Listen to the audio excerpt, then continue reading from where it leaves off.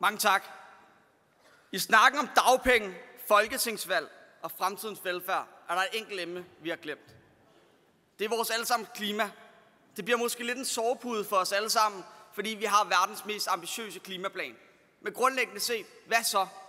Vi har verdens mest ambitiøse klimaplan, og hvad så? Hvad kan vi bruge verdens mest ambitiøse klimaplan, når resten af verden er bagud på point? Til oktober, der offentliggør FN deres klimarapport. Det gør de ikke hvilket som helst sted i Danmark, det gør, eller hvilket som helst sted i verden. Det gør de i lille Danmark. I København, der bliver verdens FN's klimarapport over vores klima offentliggjort i København.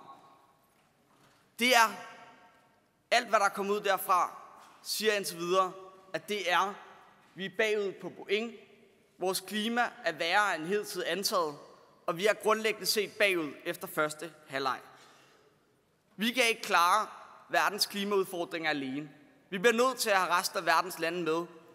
Vi bliver nødt til at lave en global aftale, hvis det her skal lykkes. Fordi ellers så nytter en global, en national klimaaftale ingenting.